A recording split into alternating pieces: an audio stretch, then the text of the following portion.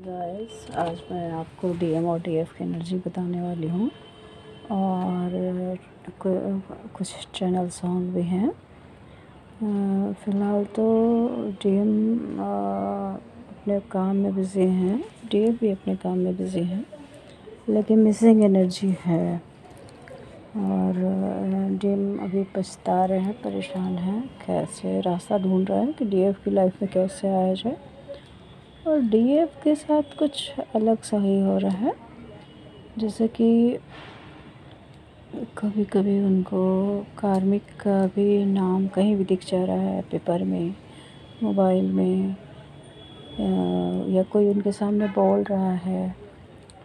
और उस तरह से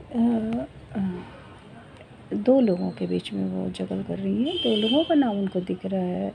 सुनाई दे रहा है। कभी कोई व्यक्ति भी मिल रहा है तो वो उसी नाम का मिल रहा है। दो लोगों के बीच में वो परेशान है कि कौन सही है कौन गलत है।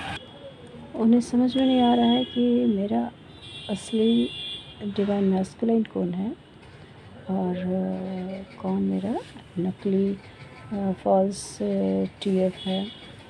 आ, आ, मेरा ट्विंकलिंग कौन है फॉल्स और कौन असली है उन्हें समझ में नहीं आ रहा है।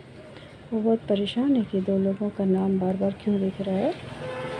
और पहले जिस व्यक्ति का नाम दिखता था, उसका नाम अब कम दिखना शुरू हुआ और दूसरे व्यक्ति का नाम ज़्यादा दिखना शुरू हुआ है। कभी गाड़ी में, कभी बस में, कभी फ़ोन में, कभी रास्ते में, कभी पेपर पे। कभी इस तरह से देखना शुरू हुआ है तो अभी पता नहीं चल रहा है कि फ़िलहाल की क्या हो रहा है उनके साथ। और oh पीछे से जो साउंड आ रहा है, उसके लिए सॉरी गाइस और दो तरह के सॉन्ग चैनल हो रहे हैं और मुझे लगता है कि दो तरह की एनर्जी भी है। डीएफ की एनर्जी है कि उनके, जो जिनको वो अपना डिवाइन मैस्कुलिन समझ रही थी, वो अब उनके नज़रों से काफ़ी उतर चुके हैं, जिससे उनकी कुछ कुछ एक्टिविटीज़ उनको पसंद नहीं है, इसलिए और और एक सॉन्ग चैनल हो रहा है कि दिल से उतर गए, आप यूट्यूब पे सुन लेना।